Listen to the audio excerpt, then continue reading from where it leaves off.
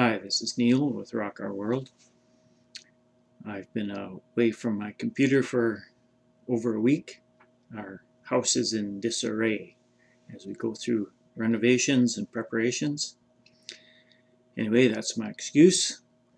I've had this on my heart for most of the past week and a half or two weeks that I would go back over the two houses of Israel, who they are, and which is a foundation and a building block on who the two witnesses are. So I, I think, uh, in a sense, this will be uh, partly testimony, kind of go through the, the journey God took myself and my wife through, and hopefully that's helpful for anyone out there that doesn't know who the two houses of Israel are and has never been taught these things. The, the Christian church, by and large, does not teach these foundational things. They don't under, know them, understand them, so then they don't teach them. And, and really, for the most part, the, the Christian church has said, oh, we're a bunch of Gentiles and God must have given up on the Israelites, who they confuse with the Jewish people. The Jewish people are only part of the whole house, uh, the whole nation of Israel, the, the 12 tribes. The Jewish people are only the tribe of Judah and Benjamin, and then they are, we, we say there's a half of the Levites amongst them, just to uh, make it simple, the Levites are scattered amongst all the tribes. So when we get to the final analysis found in Revelation where the bride is listed uh, as the 12 tribes, there's 12,000 from each tribe, uh, and we're missing the, the tribe of Dan, and we've added in the tribe of Manasseh, that half tribe of, tribe of jo Joseph. Anyway, I've gone through these things in a number of different ways over the years, but um, in trying to correct what the the Christian church has mistaught, we have to kind of unravel a few things. So when people come to the uh, Revelation 7, uh, 7, 1 to 8, they're thinking, oh, well, these are a bunch of Jews. No, the, the Jewish people are two and a half tribes. And then the, uh, what is called the House of Israel is the other ten and a half. And uh, anyway, rather get bogged down with numbers here, let's get back to now where did this all begin? So this would be your homework. If you read all of 1 Kings 12, you'll see where the two houses of Israel originated. And remember, this is God's plan. God doesn't do things accidentally. There's not glitches that come along that he doesn't know how to fix. He, uh, I've said this a number of times, he has plan A and he makes plan A work. There's no plan B or C. No, that's me speaking, but uh, God has unlimited ability. So we don't have to deal with problems that come up in his plan, or he doesn't have to deal with them. So anyway, if you read for all of 1 Kings 12, we'll see how one nation of 12 tribes, and thir the 13th one would be the tribe of the Levites, who are the priestly tribe. So they're set apart as the priests and the teachers. And to this day, that's who they are. Let's, let's always bear in mind that God is an unchanging God. He doesn't, as I just said, doesn't make a plan and then have to make adjustments in it because it's not working out. He has chosen Israel as the who he's going to work with first, and then he is going to add in the Gentile nation. So there's a lot of uh, theology to unravel here, and I'll, I'll uh, I won't hit all the points. I'll make it brief to fit it into whatever this turns out to be, hopefully under 40 minutes. So read all of 1 Kings 12. You'll see where the uh, the northern tribes, which eventually became called Samaria, where they revolted against the leadership in Jerusalem, uh, which was the king, the kingly tribe, Judah. Uh, remember, we go back to David and then Solomon, and uh, then we come into time of Rehoboam and Jeroboam. And Jeroboam led a rebellion, and he established four things. If you will read in chap in uh, verses 28 to 33, these are the sins of Jeroboam, but they are also the sins. If you follow through the history, they are to this day the sins of the Christian church. So, this is in a nutshell what happened. Uh, God became um, uh, he, couldn't handle their sins anymore. And this again is his plan. And he sent the house of Judah uh, into captivity in uh, Babylon, and he sent the house of Israel into captivity in Assyria. Now, the Jewish people were allowed to come back in the time of Ezra and Nehemiah, but as it, as it reports to us, the house of Israel became scattered to the nations, and they lost uh, they lost the understanding of who they were. They became lost. They're lost sheep, and that's where this terminology came from. They're the lost sheep of the house of Israel.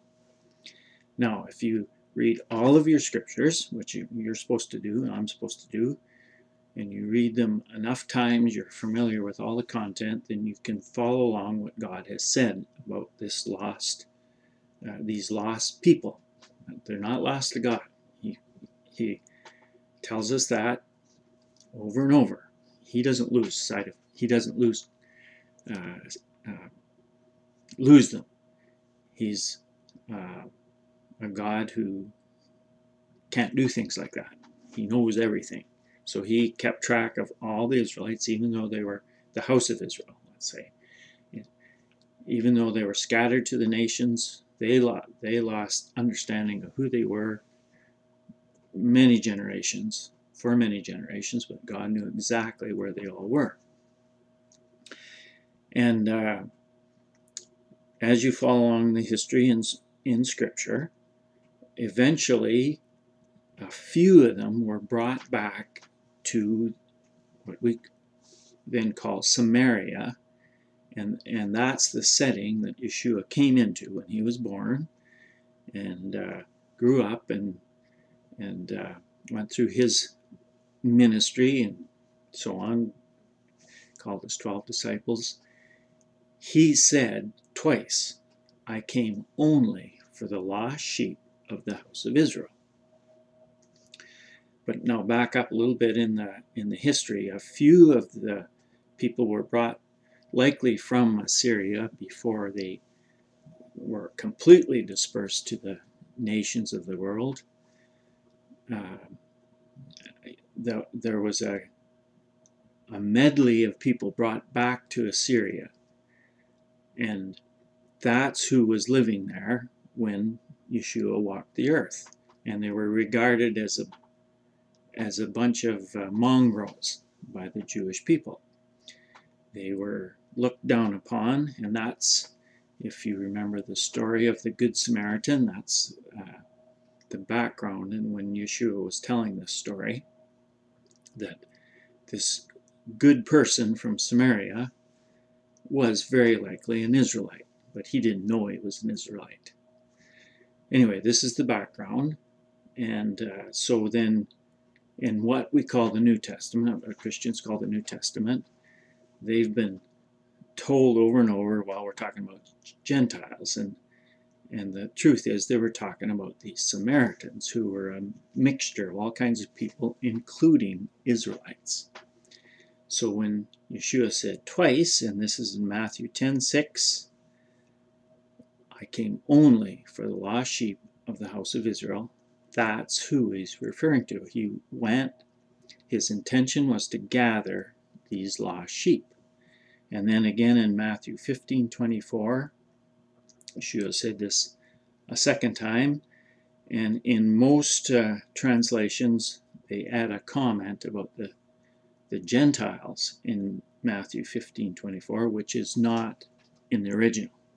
So that was added in as many, many uh, additions, deletions, corruptions were were added to the Greek versions of what we call the New, what the Christian Church calls the New Testament. We'll call them the Apostolic Writings, and they were not faithfully uh, translated into Greek.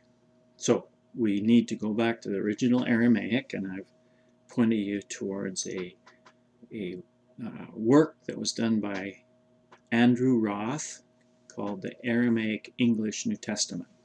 Hopefully that uh, you can find a copy of that. I actually have about 10 copies. I would be happy to share with anyone. You'll have to figure out how to, if you uh, give me some kind of a address to send you one, I would be happy to do that. Anyway, uh, Satan went to great lengths to cloud this issue and convince so-called Christians that they are Gentiles. Now, in Hebrew, Gentile means separated from God. So don't ever call yourself a Gentile. And the process goes like this, that uh, as soon as you become a believer and you begin obeying God, you become an Israelite and you become a member of one of the tribes of Israel. And uh, very likely you are already a descendant of the of the original people that were taken to Assyria and scattered to the nations, because that's what Yeshua said. He said he came only for these lost sheep. If he found you, then you're a lost sheep. So now let's re take an, another look at uh, Christian teaching that the word they're using for Gentile is not goyim, which is the Hebrew meaning separated from God. They were referring to this mixture of people in Samaria, and there were definitely uh, people from the house of Israel amongst them. But they didn't know who they were. They had gone through this long history, beginning with Jeroboam here. They were taught sins right from day one. Jeroboam was a sinner. What he did is he he uh, if you read from verse in 1 Kings 12 from 28 to 33 he instituted things that were sins in the Christian church uh, they commit these sins to this day they do not follow the Torah of Yeshua and his father. And just as Yeshua said, do not think I came to do away with the Torah, and if you break the least commandment of the Torah and teach others to do the same, you will be considered the least in the kingdom of God. So that's a I'll just leave it there. That's a brief uh, background on who are, I'll add one more thing, uh, who are Gentiles. Uh, the, the concept that a Gentile is allowed into the camp of Israel and become an Israelite was established right from the beginning when they left Egypt. As it said, there was, uh, when the 600,000 men over, that's how they counted the the people 600,000 men over 20 years of age or 20 and over. So there was, who knows, three to six million people there. There was a mixed multitude that came with them, and that, those were true Goyim. But they had witnessed the true God doing amazing things, and they had witnessed that the gods of Egypt were impotent, couldn't do anything, and they chose to to uh, change camps. And the Lord gave them instructions on how to become an Israelite. And they were actual Israelites from that point on. They were given status in one of the tribes and they became one of the uh, members of Israel. They were not Gentiles anymore. So, anyway, that's an added feature of God's, uh, what He put in place in His plan. So, no, Gentiles are not barred from the kingdom, but he's, He made it very clear He's working first with Israel, and there will come a point very soon when the floodgates are opened for the Gentiles to come in. And that is found in Matthew 24 14 and then Revelation 14 6 to say about 17. Read that whole uh, group of uh, scriptures there when God says that the good news of the kingdom, not the gospel, but the good news of the kingdom, we preached to the whole world, to every tribe, to every language, every group, everyone on earth will hear this message and they will have the opportunity to believe and follow the Lord or disregard the message and continue in their evil, unrepentant state. And that is directly ahead of us. That, uh, as I've been teaching, this is my uh, estimation of the time frame we're in that next spring on lamb selection day which is the 10th day of the first month on God's calendar will be the 1260 days uh, since the tribulation started on October 2nd 2017 and that is the day the bride will be chosen the same day the bridegroom was chosen 2,000 years ago. And uh, that is the point where the two witnesses, who are the two houses of Israel, begin their job to teach and preach and witness to the whole world. But they will bring the truth, not this mixture of truth and error that both the Christian and Jewish churches participate in uh, presently. Okay, so uh, now backing this up somewhat, we got two houses of Israel. Remember that what the time frame we're in right now is the time of the restoration of all things. That when I started this YouTube channel five years ago, almost, uh, that just came to me in an instant when we were setting it up. My son-in-law was helping me uh, set this YouTube channel up, and and he I didn't know how you do any of this stuff, and he said, well, you need a, a bit of a description. It would be sort of like a subtitle. Uh, the title of the channel is Rock Our World, the rock being Yeshua, and our world being rocked, like rocked to its foundations in all kinds of ways. And the subtitle was to uh, keep keeping believers up to date with what has be, been restored so far in the restoration of all things. Now that is a direct reference to Acts 3 21, but read that whole section in there uh, in Acts 3, uh, where it basically says that Yeshua cannot come back and I'm speaking of as a thief in the night to get his bride until everything's been restored. That might be overstated, but this is the time right now that everything's being restored. Now, this is my uh, explanation, my time frame, that about 1995, the restoration of all things really intensified right in the mid 90s. Now, We could argue that Yeshua began that restoration. He surely taught his 12 disciples everything that was true, and it was a full picture. But at the same time, we realize that they didn't understand a lot of things because they didn't have the Holy Spirit.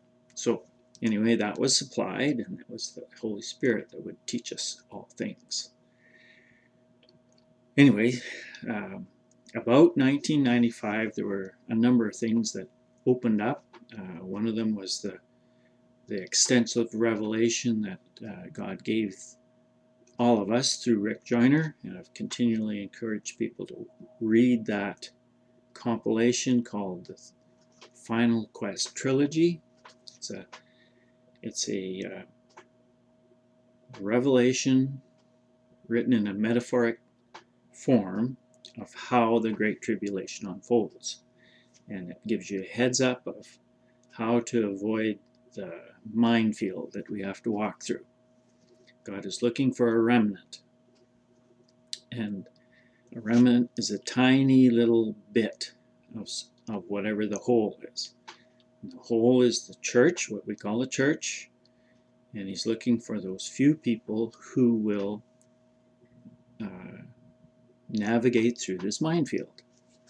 And it begins with reading the scriptures, all of them, right from Genesis to Revelation, enough times that you're familiar with the content.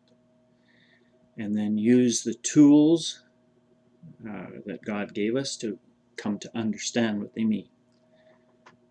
The Holy Spirit being the most important ingredient after you've read them. Holy Spirit can't help you too much if you refuse to read the scriptures.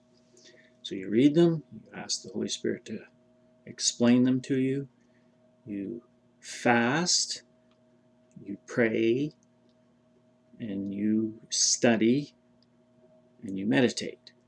And meditate simply is thinking about the things of God.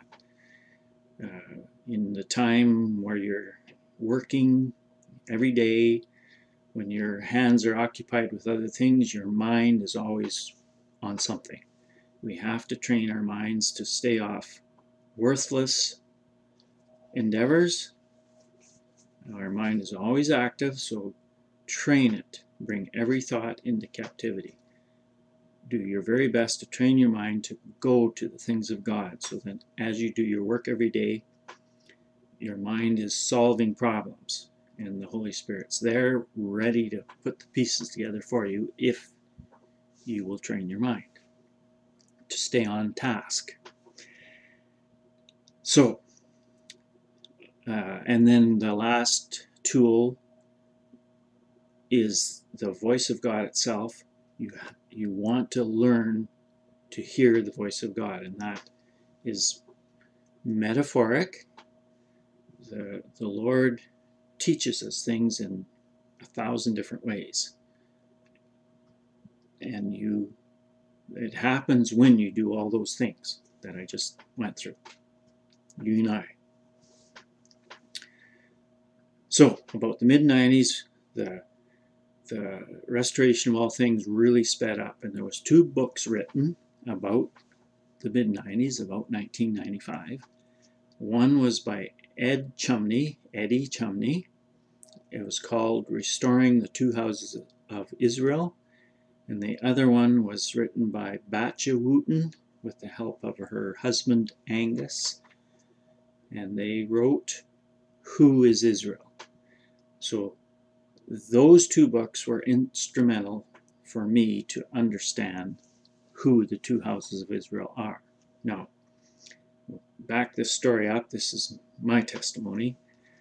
When I was first arrested by God, and I was told by the church I was going to, the Worldwide Church of God, I was told, you make sure you read the scriptures every day. You read all of them from Genesis to Revelation, and you believe them all. They're all truth, not, not the story the Christian church teaches. That the Old Testament, so called, which it is not, is uh, of less importance and done away with, and that the New Testament, so called, which it is not, is of great importance comparatively. Those, things are all lies that the angel of light supplied for us. The, the angel of light, Satan the devil, is the leader of all the churches of this world, including Christianity and Judaism. Now, that being said, we have the option of not believing what we're taught, but agreeing with what God wrote in His Word. We have that option. So that's our challenge. Read it for yourself.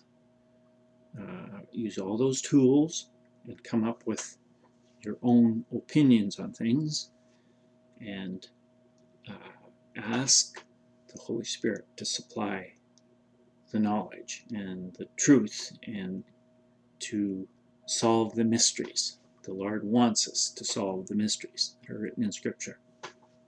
They weren't written his mysteries to remain mysteries.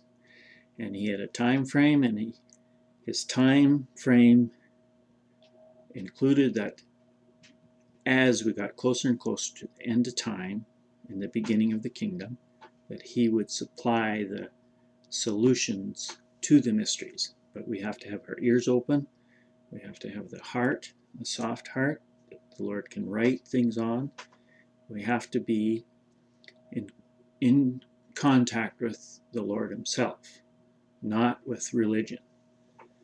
And uh, so, anyway, back to this. This is my testimony. I, when I read those two books, it uh, brought me up to the next level of understanding because I already knew that everything God wrote.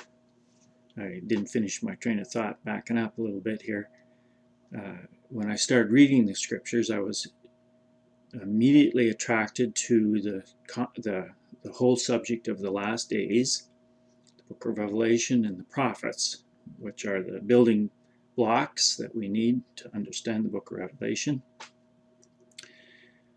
And everything written about the last days by God, by the Lord, is addressed to two groups of people the house of Israel and the house of Judah.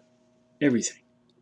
And then a third group, the Gentiles, are referred to, and again, as Hebrew says, they are separated from God.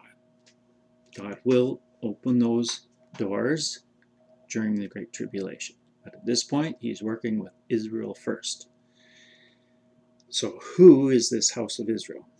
Many people can grasp that the house of Judah are the Jewish people, and will dispel that idea that the Jewish people are all the tribes. No, there are those two and a half. Where are these lost sheep?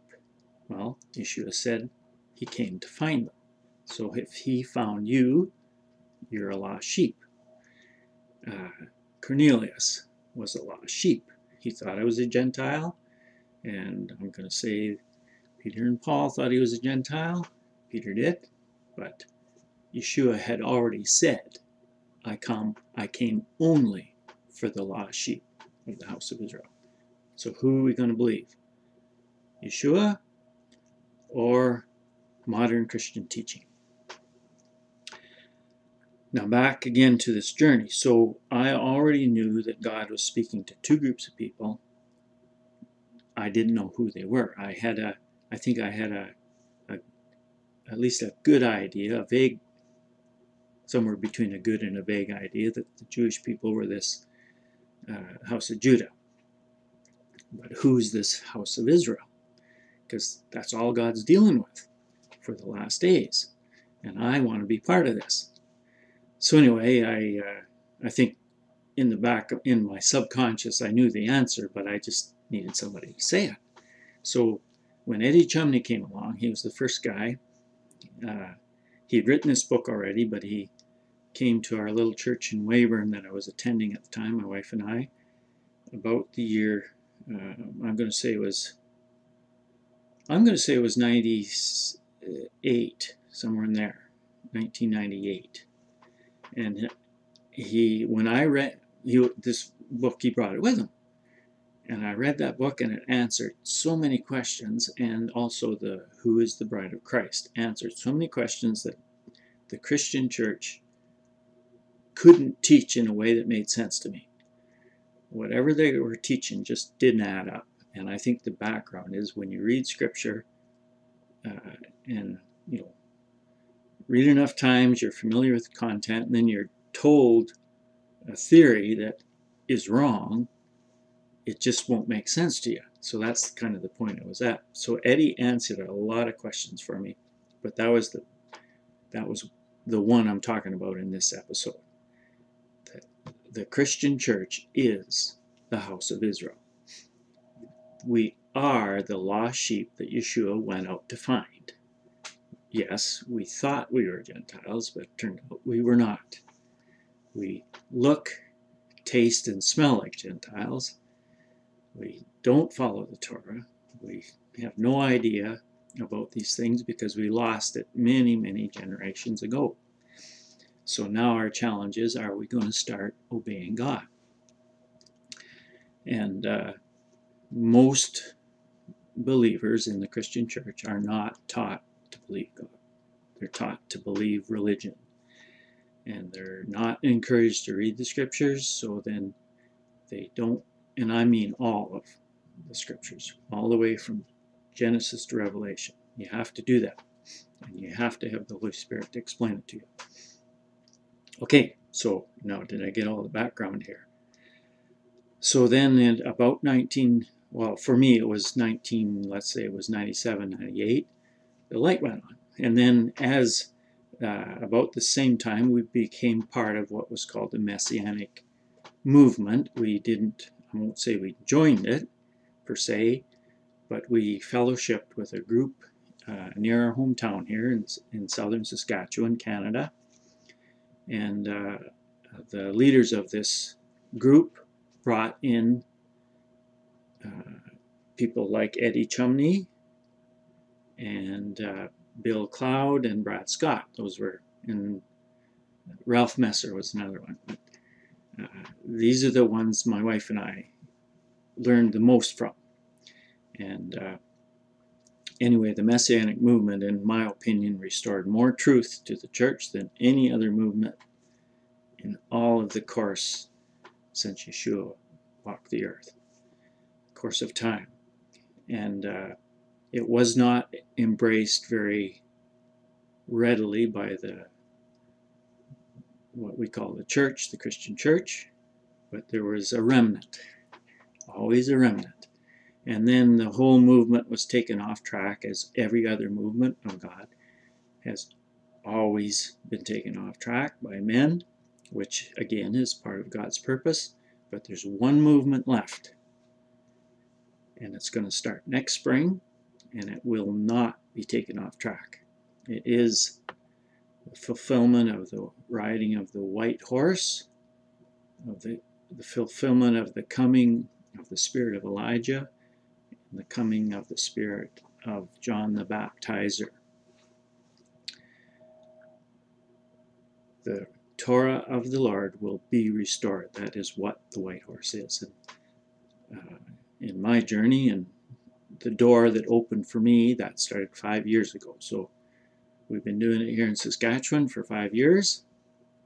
And the Lord has a perfect plan, so He's got a plan for every other part of the world. And of course, this YouTube can go to every part of the world, more or less. So it is the Lord who opens doors. And uh, that's actually a direct reference right to the Church of Philadelphia. And I'm going to say the Church of Philadelphia is the bride and the bridesmaids and whoever else allows the Lord to soften their hearts and participate in this last day work. It's going to be a great work, but it in, is in the midst of a very, very trying time. And anyone that's watching the world around them, we know that uh, things are going from bad to worse rapidly.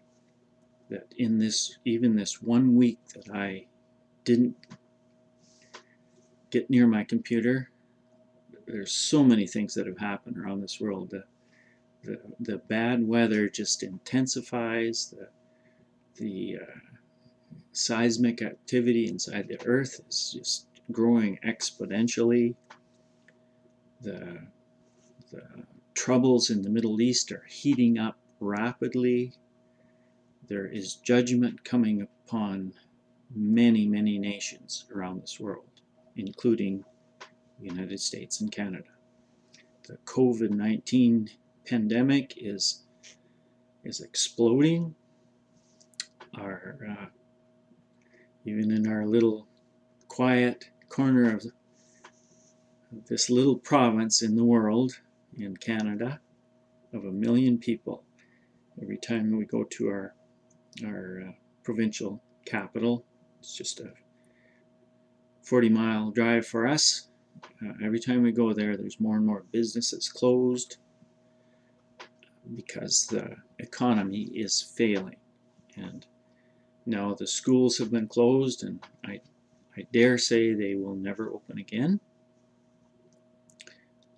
until the kingdom comes. And of course, uh, in between, we're going to see the ravages of World War III, but we will see the kingdom come. And we will see the Lord come and dry every tear from our eyes and uh, all the trauma that the whole world, all almost 8 billion people has had to endure will be become a memory. And uh, in fact, we will learn to celebrate the Great Tribulation, which is done every year when we count out the seven sevens between the Feast of First Fruits and the Feast of Weeks. That is the celebration every year of the Great Tribulation, starting with uh, celebrating Yeshua's resurrection on the Feast of First Fruits. He was the first of the first fruits. And then God uses the 49 years of the Great Tribulation to bring out of the woodwork to create. I've always said to create them, but what he's doing is he's he's softening the hearts of people so that they will become obedient to him. The very first ones are the bride, the 144,000, and then there's 10 times that number become the bride, the attendants, or the second group of first fruits, and then right near the end of the 49 year Great Tribulation, we will see the the greatest contingent, the guests to the wedding, they will arrive in Israel, in Jerusalem, and there will be a great celebration on that on that Feast of Tabernacles, on that 50th year. All the first fruits will be together. Okay, so now, two minutes left. So with all that background, uh, I'm going to say it was uh, about 19 or sorry, uh, the year 2000 to 2002. We are we were at. Um, let's pick the second number. It was about there. Pat, my wife and I were at one of these messianic meetings, and um, one of these guys were teaching. I'm going to say whether it was Eddie Chumney or Bill Cloud or Brad Scott, who has just passed away this last summer, sadly, for us who are left behind. Was a good teacher uh, one of those three was teaching and something they said and we were you know talking about and learning about the two houses of israel and learning how the the christians are the house of israel and the jewish people are the house of judah and my wife turned to me and said those are who the two witnesses are and as soon as she said that it just clicked in my heart too yes that was a revelation from the Holy Spirit.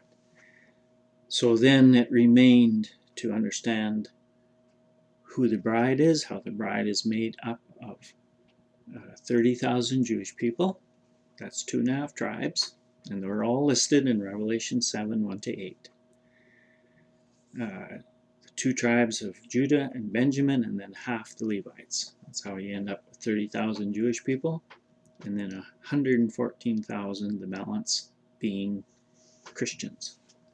or the house of Israel from these other nine and a half tribes because we've we've uh, did I get my numbers right? Yep, because we have excluded the book of uh, book the uh, the tribe of Dan, and I proposed a solution to why Dan is missing.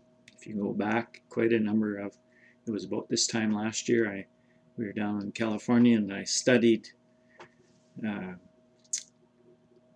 the books uh, of the history of, I guess it was Joshua, in the book of Joshua, when the tribes were commanded to go and occupy their territory, the tribe of Dan was completely 100% disobedient.